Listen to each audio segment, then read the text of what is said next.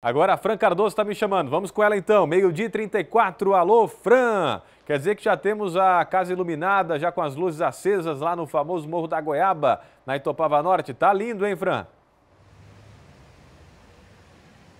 Tá lindo mesmo, Rodrigo. Eu tive ontem à noite lá com a Fernandinha, minha pequenininha e as crianças todas encantadas com a casa que promete ser a casa mais iluminada do Brasil neste ano com 870 mil lâmpadas, cinco a mais do que no ano passado. É a casa do seu Martim que há 27 anos faz essa decoração em casa e chamando a atenção do público, né?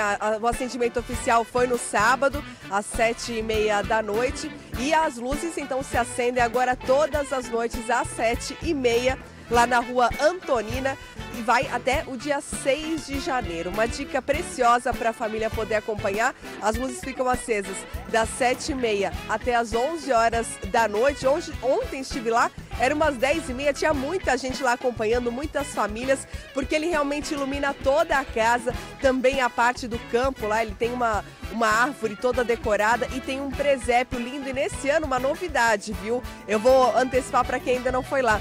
Tem uma área onde ficava o presépio antigamente que ele fez que as crianças podem fazer fotos. Tem lá vários bichinhos iluminados onde as crianças podem lá fazer fotos, aproveitando, né? Já que tem esse momento de chuva, seu Martim falou para mim, se chover, pelo menos a criança não sai sem uma foto aí com a decoração de Natal. Então fica essa sugestão para quem quiser ir lá no Morro da Goiaba, na Rua Antonina, na casa do seu Martim, acendimento oficial, sempre às sete e meia da noite fica aceso lá a decoração toda até às 11 horas. Um ótimo passeio de Natal para a família poder fazer, viu, Rodrigo?